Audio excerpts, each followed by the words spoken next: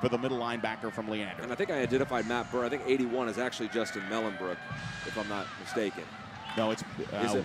we'll we'll see. But straight up the gut, it doesn't matter on second and goal. Here's Nakia Watson right up the gut for a 10-yard touchdown run for Nakia. That's his 14th rushing touchdown in just the ninth ball game here. And Nakia Watson just waltzes into the end zone untouched. Touchdown Westlake. And just like that, Nakia Watson and Taylor Anderson firing on all cylinders here on this drive that started back at the 10-yard line due to the holding penalty.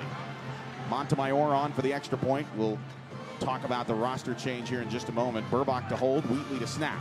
Snap is back, and this one is good for Morrow Montemayor. 9.20 to play in the half. It is Westlake 17, Leander nothing. This is Westlake football.